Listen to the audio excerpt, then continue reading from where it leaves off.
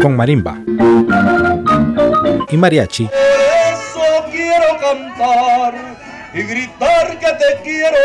Así, los salvadoreños abarrotaron los distintos cementerios de la capital para enflorar a sus familiares muertos, en la tradicional fiesta católica de los fieles difuntos. Ahí se le ponemos. Con arreglos florales, coronas, veletas e ingenio para adornar las tumbas, los capitalinos recordaron a sus seres queridos. Para mí es una tradición que me ha enseñado mi familia, mi papá. Eh, aquí venimos a enflorar a, a mi abuela de parte de papá, a mi tío y a mi abuelo. Este día es importante porque eh, la muerte es parte de la vida, ¿verdad? aunque no lo querramos aceptar a veces. ¿verdad? Y es bueno saber que para allá vamos y honrar la memoria de los ancestros. Una muestra de que todavía lo llevamos en el pensamiento, en el corazón, de todas las cosas buenas que vivimos con ellos. Eh, enseñarle a nuestros hijos, a, nuestros, a los nietos de ella, que pues también hay que respetar este, este día importante para, para nosotros como familia.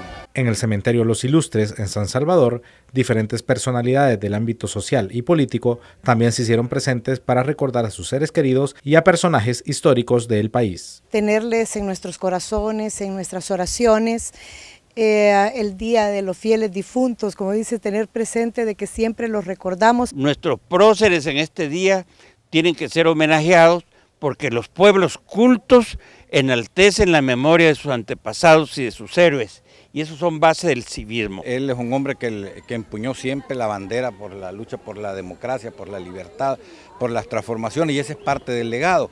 Pero parte del legado también es la coherencia entre lo que se dice y lo que se hace la rectitud, la honorabilidad, el compromiso, el respeto a la palabra empeñada. El cementerio La Bermeja y Jardines del Recuerdo lucieron llenos de personas que buscaban pasar un momento en familia al lado de la tumba de sus seres queridos y así rendirles un homenaje hasta el cielo, informó para la prensa gráfica.com Héctor Burgos.